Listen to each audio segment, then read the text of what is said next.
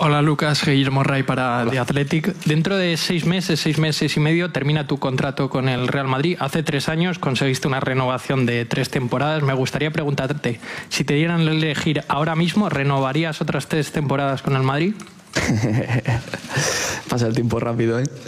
¿eh? Sí, por supuesto, yo siempre lo he dicho, ¿no? Que el Real Madrid es es eh, el sueño que tenía desde pequeño de, poder jugar aquí, es en mi casa, es donde me encuentro muy bien y claro que sí.